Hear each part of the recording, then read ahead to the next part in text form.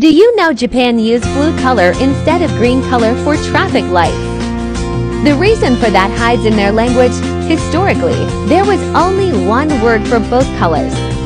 When traffic lights first appeared in the country, they were as green as anywhere else, but that green color was still called blue. To make things right, the government decided to use the bluest shade of green possible. For more quick facts like comment, share and subscribe to our YouTube channel to increase your knowledge with us.